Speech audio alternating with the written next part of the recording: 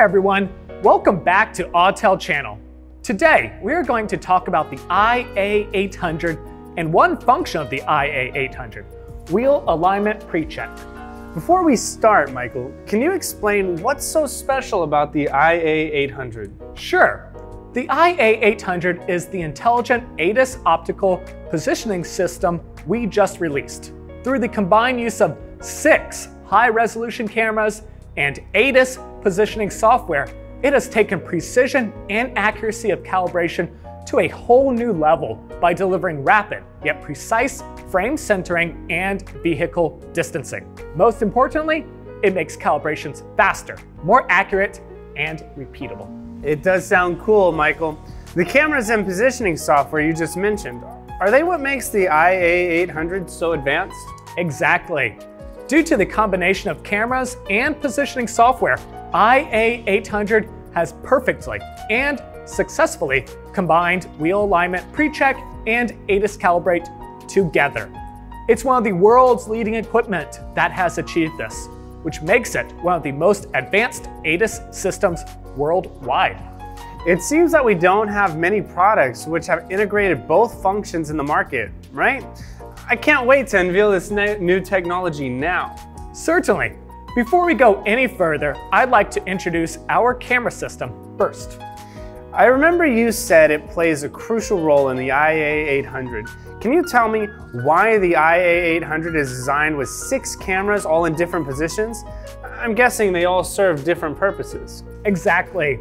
These six high-resolution cameras are designed to provide three-dimensional optical recognition for most accurate frame management. All of them capture targets precisely and populate the screen for positioning. The four cameras on the right and left are used to set the frame quickly in place and detect parameters of the four wheels.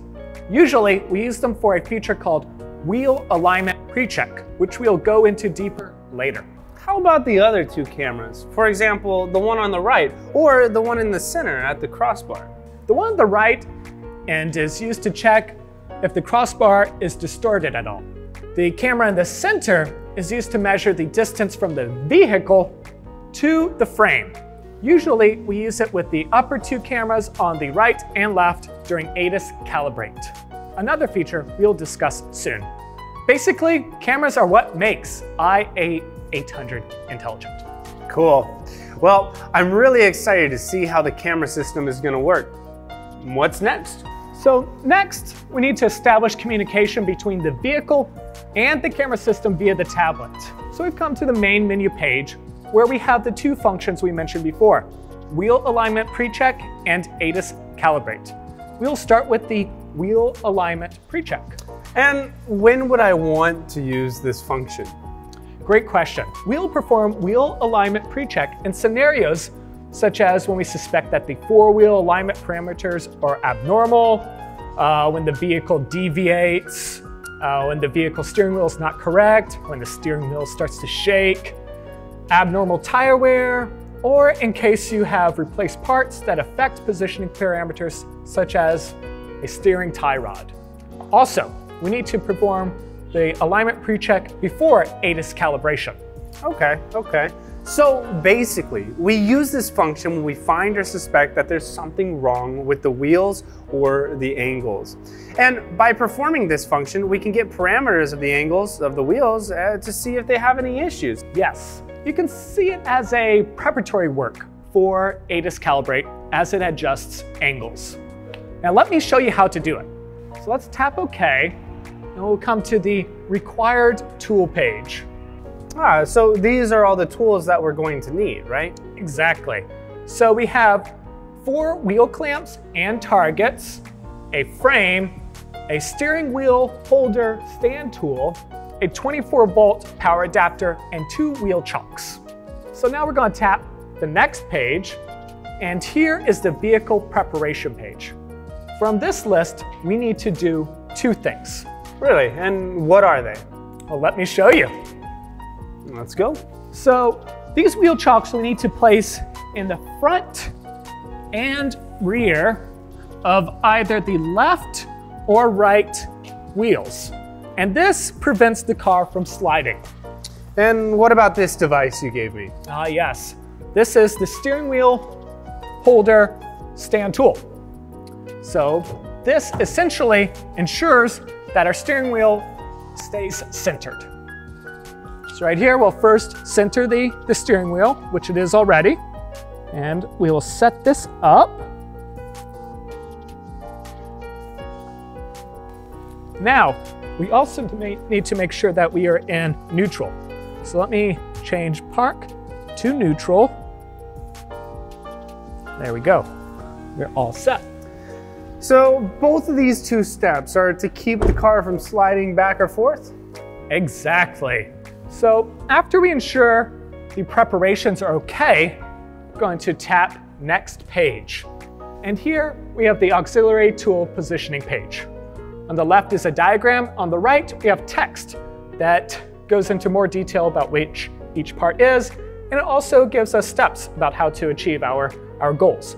Now, if you tap on this diagram, you're able to actually zoom in right here and see all the details. Well, that's pretty convenient. But what do we do here? All right, let me show you. So first two things, if you look over here, you see these two right marks, right? I see them. Now they're not quite aligned properly, so let's use this fine tuning knob to align them. That looks good to me. Great. Next step, we need to loosen this handle. I'll hop over to the other side. And once again, we need to align the red marks. So using this knob, we have aligned this red mark with that red dash. Let's tighten this knob here and then lock the handle in place. So these two steps are to help prepare the initial state for the frame, right? Exactly. So let's tap on the next page and we have two additional things that we have to do as well. Now these two things. First, you see right here, we have this crossbar. We have to make sure that this crossbar is in the middle of the front two wheels of our car. Secondly, we turn on our, our laser from the slide panel and make sure that that laser is aligned in the center of the car to ensure that the car is centered with the frame. It looks like it is. So that's to confirm that the cameras capture the targets easily, right? Yes. So now let's tap on the next page and we need to attach our four clamps and targets to the vehicle. So here's wheel clamp one. And right here, you can see that there's this diagram that shows you which tire, which wheel the wheel clamp corresponds to. So this one says the front left tire. So we will take this over here and we need to position the bottom part first. And we also have a knob on the top, which allows us to adjust this properly to account for different rim sizes. Put that in here. Right here. So once you put the bottom part in, you stabilize it with, with one of your hands and then use the knob to secure the top part. Well, that seems pretty easy. Is it all right if uh, I try one myself? Knock yourself out. All right, so judging from what you said, I check to make sure that this is the left rear tire. Yes. Go down and I place it starting at the bottom first and then adjust the knob until it is tight. How's that look? Oh, you're a natural. Shall we do the other side? Sure thing. All right, I'll get this one. And I'll take the one in the front. Great. So once again, we'll do the bottom first.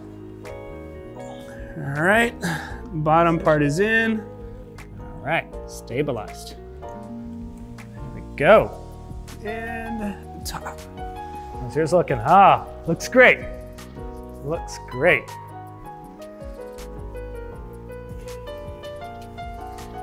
So let's click on next page. So what is this loading right now for us? Good question.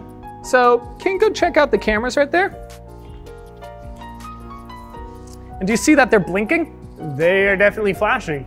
All right, so that means that they are capturing the targets and relaying this information over to the tablet. Yeah, I definitely get how this is an intelligent camera system. Great. Now we are at the wheel rolling compensation page. Do you see the arrows and the instructions? Okay, I see them. They're pretty easy to follow. Yeah, so it means we need to push the vehicle accordingly. If you have any difficulty in the alignment, you can check the view camera right here.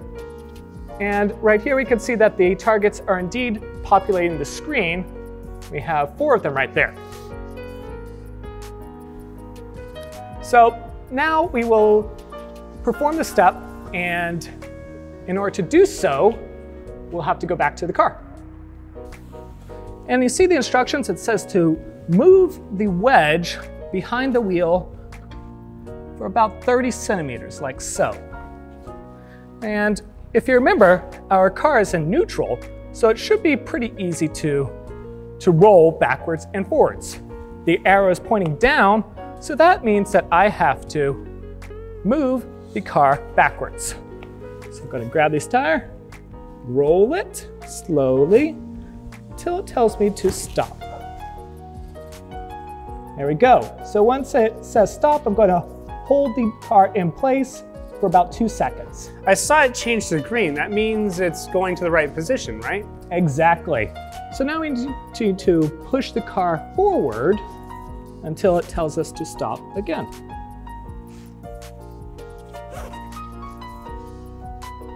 There we go. So now we have our measurement results. We're going to take this wheel chock, put it back in place so that the car doesn't slide. So you had to stop two times to make sure the camera's got all the right data. Is that correct? Exactly, exactly. There are a lot of numbers still in orange. What does that mean? Well, let's go to the list mode. And here we can see our measurement results. So right here we have the standard value, maximum value, minimum values, and you can see that there are some values in red from the measured values. So with the red values, that means that they're still a little bit off and not within the standard range, so we, can adjust the angles accordingly. I think I understand. We just adjust the angles of the wheels based on the values here to reach the ideal data. Yep, so that's all for the wheel alignment pre-check. That's quite fast, actually. I, I, think we can summarize the whole process in just three steps. So have you got how to perform the wheel alignment pre-check? Comment down below to let us know. If you have any questions about the IA800 or ADAS calibrations, please contact our Autel support team. Thank you for watching this video. See you next time.